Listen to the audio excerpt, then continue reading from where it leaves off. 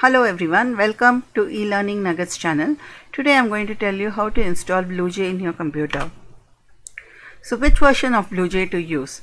BlueJ 4.2.0 and later versions require a 64-bit operating system. Most of the operating systems available now are 64-bit. So it will not be a problem to install BlueJ in your computers. BlueJ uses JDK 11 plus version. For a 32-bit operating system, BlueJ 4.1.4 should be installed. The most recent version of BlueJ is 4.2.2. Now how to install BlueJ in your computer? The first step to do this is you need to open your browser, your Google Chrome or your Mozilla Firefox, whichever browser you're using on uh, for your computer and you need to go and type this particular URL in the website address https www.bluej.org once you type this web address and press enter key you get the website and the uh, website here. So if you see this website here, it is www.bluej.org. So BlueJ is a free Java development environment designed for beginners. If you come down here, you can see here it is written as download and install. So you need to go and click on these icons according to your operating system which your which your computer you have installed.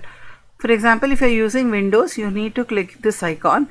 If you're using a Mac OS, a Ubuntu or other operating systems, you need to click on these icons. And once you click on these icons, it will tell you the steps how to continue further. In this video series, I am going to tell you how to install BlueJ on the Windows system. So here you need to click on the Windows icon. Once you click on the Windows icon, you will see a dialog box here you will see a dialog box here which says that you have chosen to open BlueJ Windows 422.msi. You need to go and click on the save file uh, command button. So this will get be get it will get downloaded in the given path. So for example here my folder is downloads. So here this uh, BlueJ Windows 422.msi will get downloaded. Here you may get uh, another dialog box, a warning dialog box saying that bluej.exe uh, is it can be uh, prone to virus. So you can just click on uh, do you still want to continue? You can just click s because it is a comparatively safe file to download. You don't have to worry there is not no virus in bluej once you have downloaded it you have to go to the folder which contains the bluej.exe please observe the path. Since i have stored it in downloads I've gone to this window and here the Windows installer of BlueJ is available. Once I click on that, I open up the BlueJ setup wizard. So this setup wizard will install BlueJ on your computer and you need to click next to continue or cancel to exit the setup wizard. So the steps are given in this wizard. So the first step is you have to click on the next button here.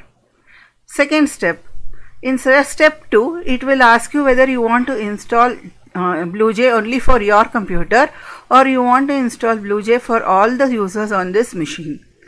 So if you have more logins in that machine like 2-3 people members, family members are using there. If you want to install for everyone you can select this option or only you have a login in your computer or only in your uh, desktop only in your user ID it has to work. You just go here and say install just for you. Then click on the next button. In step 3, it will select the association and shortcuts.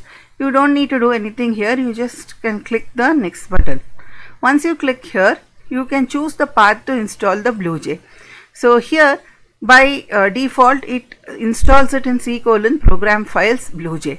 If you want to change the drive to D colon or E colon, you can go to and click on this button and change to that drive.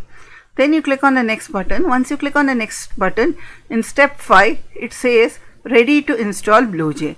Once you click the install button, it starts installing BlueJ in the path you have given in your computer. So here it will show you a status bar. It will tell you how long it is going to take to install the BlueJ in your computer. It may take a few minutes. You need to wait for it. Once the installation happens, you get another dialog box which has a finish button in it. Once you say finish, your BlueJ is installed in your drive. After it gets installed, a shortcut is created on your desktop. The icon looks like this and you need to just double click this icon and your editor opens up here like this.